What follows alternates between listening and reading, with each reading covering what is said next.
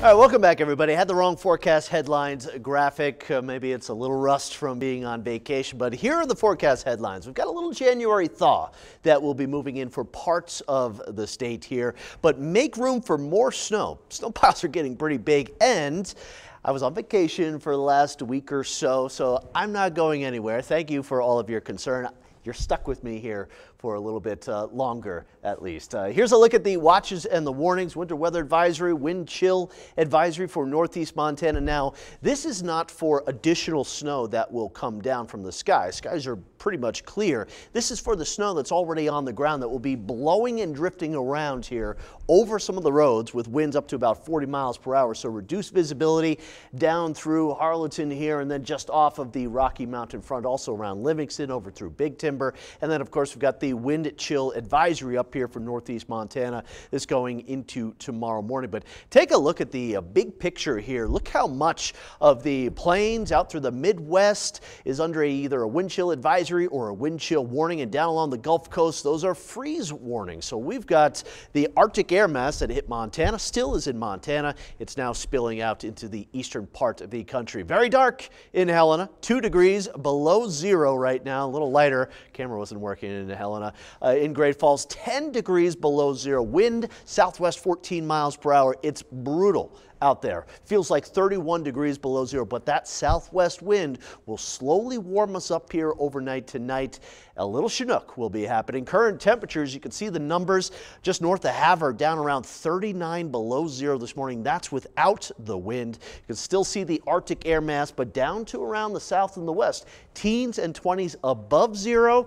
Yeah, a little warmer air will start to move across the state here. Wind chill values now dangerously cold again. Havre 42 degrees below below zero. Ouch. Now, where we have the wind, the air quality is good, but however, in the valley locations, we're going to start to see inversions set up. And look at Bozeman, unhealthy for sensitive groups. Helena Butte, uh, down around Hamilton, Billings, and also Broadus, moderate air quality, and that will likely uh, deteriorate here over the next few days as, as this inversion develops. High pressure overhead here, not much in the way of cloud cover tonight or tomorrow, but more of a southwest wind will develop over the next few days, and and that means the Montana prairies and also the higher elevations will start to warm up. If you live in a valley, though, likely that cold air will get stuck there into the valley bottoms, but not much in the way of precipitation really anytime soon. Here's the forecast for tonight. Still brutally cold here, but just off the Rocky Mountain front, around Browning, around East Glacier, Choteau, Augusta, temperatures start to climb here through the overnight hours.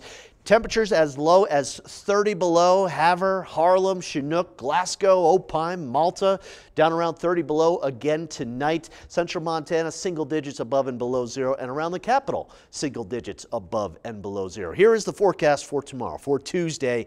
Look at these temperatures 30 degrees above zero. Even Great Falls pushing the freezing point tomorrow afternoon. I think here out into northeast Montana, these numbers might be a little high. Still some pretty cold air in place here and around the capital inverted. It will actually be warmer up on top of Great Divide tomorrow than it will be at the bottom of the valley. Here's the seven day forecast. So the Helena Valley inverted. Cold air trapped out in the valley, the air quality deteriorating. The higher elevations around town, though, will have high temperatures getting up into the 20s and the 30s. You want to warm up tomorrow, go up to McDonald Pass. Okay. Temperature will probably be around 30 degrees.